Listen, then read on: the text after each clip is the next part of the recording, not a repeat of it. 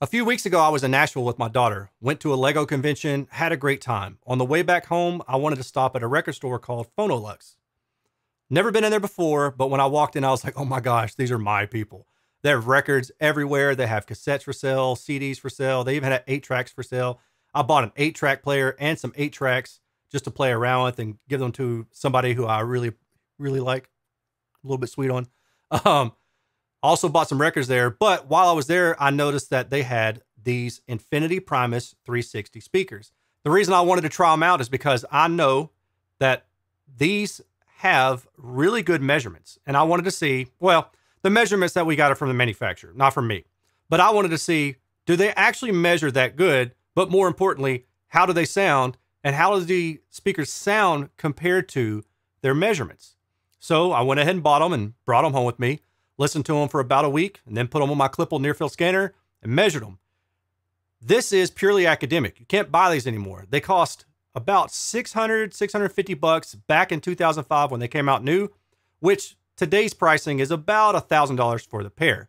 But I got to tell you guys that after listening to these and then after seeing the measurements, I'm starting to realize more and more that a lot of today's speakers just flat out suck. And listen, I know that you can say that, well, today's speakers have different coloration to them on purpose. The problem is there's a lot of I won't say mistakes. There's a lot of leeway in the speaker designs being made. And sometimes when they don't sound great or maybe they don't measure great, what we're told is that, oh, well, that gives it character. That was a design choice. Sometimes I believe that, sometimes I don't. Now, do I think that I can design a speaker better than some of these brands? Maybe. All of them? Certainly not. But it doesn't take away from the fact that 20 years ago, there were speakers out that cost about the same price as what we're paying today. And they sound far worse today than they did 20 years ago. So I'm going to use this as an example to show you some of the things that I heard with this speaker, how it relates to the measurements, what you were getting for your dollar back in the day, and what's primarily changed? Have we really come a long way in our understanding of speaker performance relative to measurements? How much do measurements influence today's designs? Well, we know that, again, that's going to vary from speaker manufacturer to speaker manufacturer. But do these speakers that were built on the principle, literally, of the spinorama measurements being a certain way, sound good? Do these speakers sound good because they measure a certain way? We're about to talk about that. And we're also going to dive into some of the things that have changed over the years and some of the areas that speakers today have improved. First of all, let's talk about some of the specs. This is a three way design, 8 ohm nominal impedance. Its spec sensitivity is 93 decibels, which is about 3 to 4 decibels too high. It features two 6.5 inch mid woofers, a 4 inch mid, and a 3 quarter inch dome tweeter. Let's talk about my listening. Now, I've had the opportunity to listen to these on basically two different setups. One would be with the Yamaha RN2000A stereo receiver. And then I listened to these speakers through my miniDSP Flex HTX, ran into a pair of monoblock amplifiers from March Audio, the P501 monoblocks. Initially, I set these up somewhat close to the wall because they just look better when they're closer to the wall. Bringing speakers out way out of the room my TV is mounted to the wall. It just looks kind of funny. So normally that's where I start with the speakers close to the wall, and then I'll start bringing them out and I'll play around with aiming. I aimed them directly at me, close to the wall, aimed directly at me. Top end was a little bit too much for me, aimed directly at me. So I wound up toeing them out a little bit. And I tried 30 degrees off axis, and to me, 30 degrees off axis was just a little bit too far away. And for those of you who don't know what I mean by on axis versus off axis, here's a quick graphical example. Black is on axis, and red is off axis at 30 degrees. Anywhere in between black and red is some other form of off axis by some angle. What I wound up finding was that about 10 to 15 degrees off axis worked the best. It was the better balance between getting the mid range to the tweeter handoff right. Otherwise, with the speaker pointed directly at me, it sounded like the lower treble was just a little bit too elevated. Sometimes it became sibilant. Maybe you might call it bright. When toed off axis at 30 degrees, it was too much. I was losing, it felt to me like I was losing too much top end compared to the lower treble. And see, that's the thing about listening to speakers and trying to quantify their sound and then relate it to measurements. These things are all relative. So where I hear maybe a little bit of brightness, you may hear a little bit of dullness in the mid range. Or maybe I say the bass sounded a little bit too boomy, and you may say the high end sounded a little bit too thin. So these are all relative. And that is really why I like having graphical data to talk about hey, this is why I heard what I heard. The mid range, no problems. Sounded silky smooth, buttery, chocolatey bottom end, all those great things. Well, chocolatey lower mid range bottom end. But when you got to the lower bass, the mid bass area, the thing that I noticed was that these just didn't really perform well below about 50 hertz in room. They just kind of dropped off pretty quickly below that point. The other thing that I noticed was that with the speakers placed close to the wall, there was a little bit of extra boominess that I personally didn't care for. So I wound up bringing them off a foot from the wall. And if you don't know what I mean, here's another example of what I mean. When I say off the wall, I'm talking from the back of the speaker to the wall. So I bought these speakers out about a foot off the wall or a third of a meter off the wall, and that alleviated that lower boominess. But in doing so, I just felt like maybe I can bring them out a little bit further. So I brought them out a little bit further. And then I wound up settling on about one and a half feet. That's where I landed, where I felt that I've got a good mix of nice bass output without it sounding too boomy, but also aesthetically pleasing. Because, like it or not, aesthetics is a major factor. I know people that will go out and spend six figures on speakers more because of how they look and less because of how they sound. I've been told this by probably three or four different people with more money than I'll probably ever have. So that's something to keep in mind.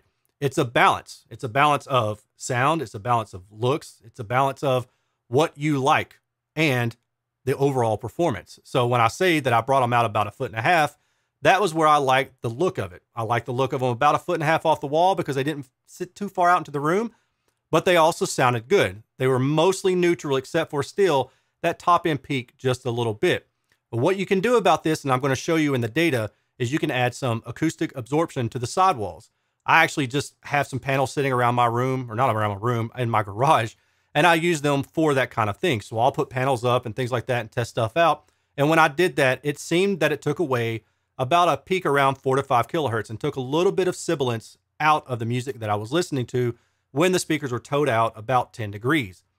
Is that a sighted bias thing, it could very well be. Me knowing that I'm putting up panels makes me aware that I should expect this kind of effect.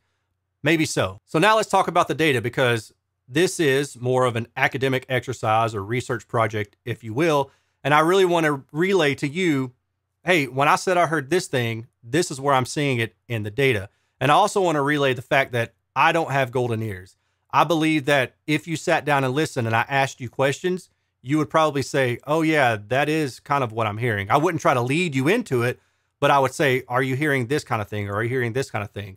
And I think that most likely you're going to wind up hearing the same kind of things I hear. It's just that I've been doing this for such a long time that I've gotten pretty good at identifying what I've heard compared to the measurements. And when I listen, I listen first. Now, I've been doing home audio measurement testing, review stuff for like four years, but I did car audio competitions for about 15 years before that. And part of that was to judge a system. And you had to sit down with notes and your pen and you write out what you hear. But you also have to know how to tune a system. And you also have to use equalization to tune a car audio system to make it sound even halfway decent. You have to understand time alignment and levels and phase matching and mid bass to sub bass transition and, and a lot of these other factors that go into it. So if you know how to tune a car audio system, or at least you know the basics, then you have a pretty good idea of what certain things sound like and in what frequency bands. And it makes it a little bit easier to identify. Or at the least, you know that highs sound high and lows sound low, and you just start zoning in from there. The data that you're about to see was captured using my Klippel near field scanner. It's a state of the art device that was not available when the speaker was designed. This can replace an anechoic chamber, which is what was used for this speaker's design. The minimum impedance is about three and a half ohm. Uh, what is that? Around maybe like 150 hertz. And, and the impedance is fine, right? Like you might need a four ohm capable amplifier to drive this, especially if it's an AB amplifier. But things that don't look good are here's a resonance right here around 170, another one around 220, and then another one around maybe 350 hertz or so. Here's the on axis response and linearity. Mean SPL is 89.4 decibels its response linearity is within about plus or minus two decibels. This design is 20 years old and it's within about plus or minus two decibels on axis. Now, designing a speaker to measure flat on axis, not a huge deal. I mean, within plus or minus two decibels is is pretty freaking awesome, but it's not unheard of. The problem is what happens when you go to the side of the speaker and, and around it and above or below it. Those things matter too. And that feeds into the overall sound that you hear in your seated position, which I'll talk about shortly after I mention the F3 is at 53 hertz and the F10 is at 37 hertz. The F3 is the point where the response has fallen off by about three decibels compared to the mean. So you're three decibels lower from the overall mean at about 53 hertz, and then it's 10 decibels lower at 37 hertz, which just means that you're going to have to use a subwoofer if you want low bass. Here's the Spinorama data. This looks really good. Again, like really smooth on axis frequency response. Listening window also looks really good. Listening window is plus or minus 30 degrees to the side, plus or minus 10 degrees above the axis point, which is the mid range for this speaker. The early reflections directivity index. Basically, this means how well does the speaker take to equalization? The more linear this guy is, the better it takes to equalization. And that means that if you apply equalization, you're going to still have the same tonal balance between the direct sound, which fires directly at you, and the sound that's reflected off the walls. That's a good thing. If those don't match, which a lot of lesser speakers have issues with, then no matter how much you equalize the speaker, it's still not going to sound exactly right because the sound that goes off the walls and comes back to your ear is different than the sound that comes directly at you with a speaker design like this, where they paid attention to the early reflections, that means that the early reflections are going to sound similar in tonality to that direct sound. And if you, for some reason, don't like the overall sound of the speaker in your room, throw some EQ on it, shape it to make it sound like what you want. This is the estimated in-room response at zero degrees on axis and plus or minus 30 degrees horizontal. I noted the in-room extension to about 50 hertz or so. Upper mid bass punch is a bit lower in level compared to the mid range portion itself. And then the higher frequency areas is something else that I noticed too. This kind of stands out. Now, this is more close to how I heard the speaker. Some of you may hear the speaker where the tweeter sounds higher in level overall. So you may just draw this blue line a little bit further down here and have more of a gap there. And that's cool. That's where the subjective portion comes into play and how we describe how the speaker sounds to us. And that's what I'm doing here. I'm describing how it sounded to me and relaying to you why it sounded that way. The lower treble can sound a bit bright if pointed directly on axis. So in black here, we can see that it's going to be a bit bright right through here. Now, when toed out about 30 degrees, you still have a little bit of a bump around 4 kilohertz or so. You can help resolve that by using some wall absorption. But I found that about 10 degrees to 15 degrees was the best midway point to get the best overall sound.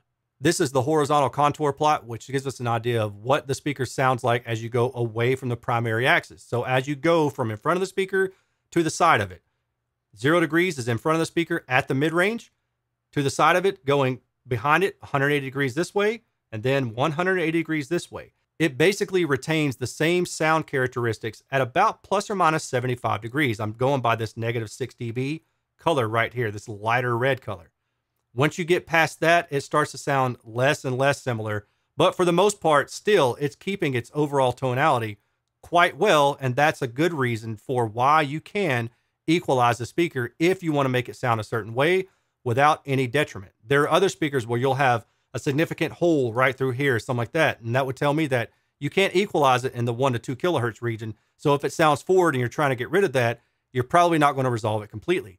With this particular speaker, you can because it has good directivity, good horizontal contour. Above and below the mid range, how far out can you go? Well, I'm saying here about plus or minus 25 degrees. Above that or below that, you start running into suckouts right through here and then right through here below the mid range. Distortion at 86 decibels, low. And then at 96 decibels, also really low. Multi-tone distortion, however, plays a signal that's closer to music. It's not just a single tone at a time and it's kind of stressing the whole speaker at one time. The woofers, the tweeter, it's doing everything. And what happens when you play multi-tone distortion is sometimes if you're overexciting that woofer, you can create higher order distortion elements in the mid range or even the tweeter, just depending on how low some of these speaker designs are playing. And that's why I like to use multi-tone distortion. 3% is my personal benchmark. If it goes above that, then I'm going to say, ah, that's probably problematic. But as long as it's below that for the most part, I'm okay.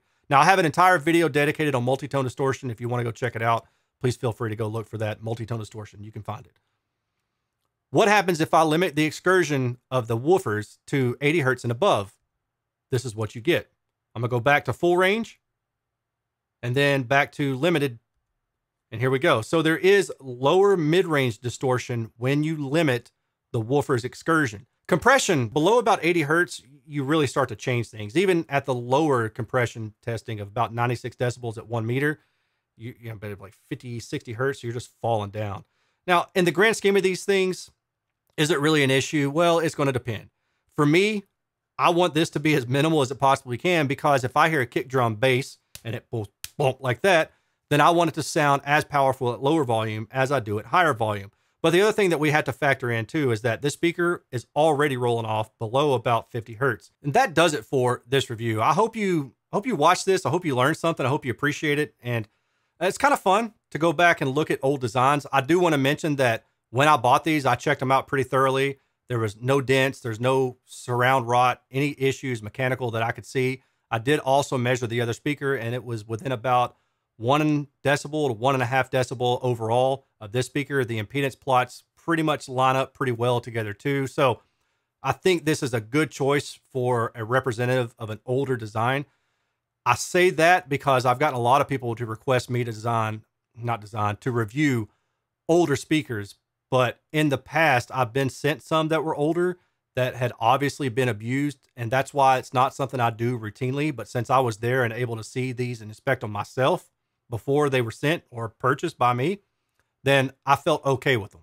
I may do more like these in the future. If you're interested, please let me know. And if you've got some really neat speakers that are old school and you happen to live in the Huntsville, Alabama vicinity, reach out to me. Let me know. Maybe we can work something out. If you like what I'm doing here and you'd like to support, you can do that a few different ways. One is you can use my generic affiliate links to buy anything that you normally would already buy. So Amazon, Crutchfield, Best Buy, Target, Newegg, and there's others in my description below. If you have to go buy something from Amazon or Crutchfield tomorrow, just remember, oh, Erin has an affiliate link for that. Click that generic affiliate link and then go buy whatever it is you want. I do earn a small commission on that, and that helps me basically keep the lights on. Alternatively, you can join me at patreon.com slash Erin's Audio Corner. My voice just keeps cracking. I think I'm getting sick. Anyway, you can join me patreon.com slash Erin's Audio Corner. And there you can get some behind the scenes information. I do polls. I talk to the audience there. And it's just a good way to help me out and also be part of the community in that way. And I 120 million percent appreciate all the support that I can get that way. And my Patreon community is great. With all that said, I appreciate you watching. I will talk to you all later. Take care. Peace.